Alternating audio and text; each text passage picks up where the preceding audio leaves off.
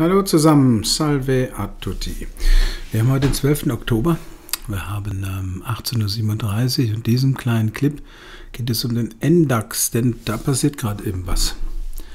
Und äh, deswegen habe ich hier den Chart mal ein bisschen größer gemacht, aber ich mache direkt näher dran. Wir überbieten das Hoch vom 3.9. bei 28.176. Da war der höchste Punkt. Wir haben heute mit ähm, 28.158 den höchsten Schlusskurs seit Februar. Deswegen hatte ich das hier so reingemacht. Der ist hier. Das hier war das Alltime High, 29.438. Und momentan schaufelt sich der MDAX frei und übergeht auch die gesamte Range, die wir jetzt schon länger haben, seit Anfang Juni ähm, übergeht die mit Schlusskurs. Das ist richtig gut. Das, der nächste Widerstand ist erst dann hier dieses ähm, Gap vom, wann war denn das jetzt? Das war ähm, Ende Februar bei 28.983. Da ist ähm, das Gap und das ist der einzige Punkt, den ich habe, der mir sinnvoll erscheint gehe mal, mach's mir ein bisschen größer. Es wurde gebeten, dass ich die ähm, Farben hier ändere für die Bänder. Ich kann da nicht viel ändern. Das Einzige, was ich machen kann, ist, ich kann hier drauf gehen und kann sagen, dass die Linien vielleicht, sagen wir mal, Navy sind. Ich, äh, müssen wir gucken, ob euch das hilft. Ja, ich bin mir da, also ich bin ja farbenblind. Ich sehe hier nur Schattierungen, ja, aber wenn das jetzt hier natürlich dunkler ist, sehe ich das auch. Vielleicht hilft euch das. Ich wollte eigentlich möglichst wenig von diesen dunklen Farben hier drin haben, weil ich dann damit Schwierigkeiten kriege. Aber gebt mir mal ein Feedback, ob euch das passt. Aber hier sieht man es genau drüber und wir handeln gerade eben, wo ist er denn jetzt? Bei 28.200, also noch ein bisschen höher als den Schlusskurs. Das ist aber auch dem geschuldet, dass die Nasdaq gerade eben mal wieder so richtig durchdreht. Die Nasdaq im Moment ist bei plus 3,13 Prozent, 12.089. Also die hatten nur eins, zwei, drei Kurse, die höher waren, also drei Tage, die höher waren. Das ist schon erstaunlich. Wie dem auch sein. Ähm, ja, die Bänder gehen ein bisschen auf, das ist hilfreich, ja, wenn wir uns jetzt für eine, für eine Werte, für eine Woche beziehungsweise für eine Richtung entschieden haben. Das ist hilfreich, keine Frage. Gleitende Durchschnitte, alles positiv. 10 ist über 20 Tage. Das sieht gut aus. Ähm, 200-Tage-Linie ist weit weg, aber immer noch in einem völlig toleranten Rahmen, gar kein Problem.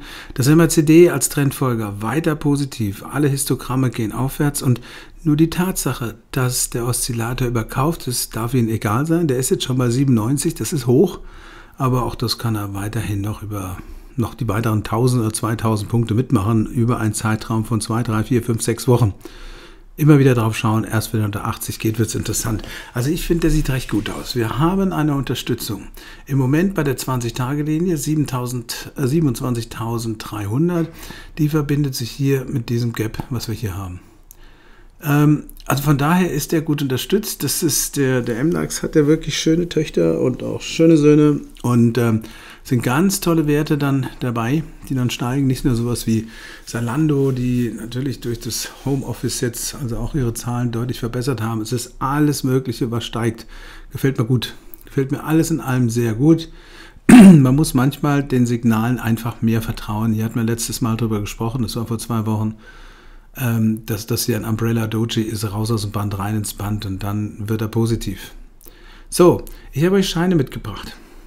Also ich bin ja jetzt einer, der, ähm, das ist der falsche, Moment mal, der hier. Ähm, ich sitze davor. Deswegen, ich, ich mache dann solche Scheine, die hier liegen. 27.530, aber ich sitze davor. Wer das nicht tut, muss ein bisschen weiter runtergehen. Und ich bin der Meinung, es reicht, wenn man unter dieses Tief hier geht. Moment, ich hole es mal näher ran. Und dieses hier, das ist die, sagen wir mal ganz grob, 27.000. Und ich habe diesen Schein hier gefunden. Das ist ein Open-End-Schein von Goldman ähm, mit der Basis 26.968. Da sind wir also, rups, da wo jetzt die Maus ist. Millimeterarbeit. Da sind wir. 26.968. Da hat die Kennnummer Gustav Friedrich 3 Theodor Zeppelin 5. GF3TZ5. Das ist für Long. Und der bietet sich auch momentan an. Wir schließen darüber.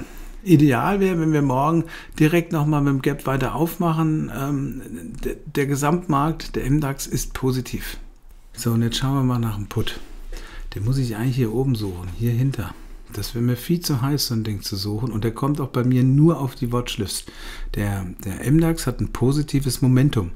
Da gehe ich nicht short, da handle ich nicht gegen den Trend. Der macht hier gerade einen neuen Trend nach oben auf. Ich nenne ihn trotzdem ein für die Watchlist, dass Sie sich damit schon mal so ein bisschen anfreunden können. Und das ist dieser hier. Das ist ein äh, 29.487er.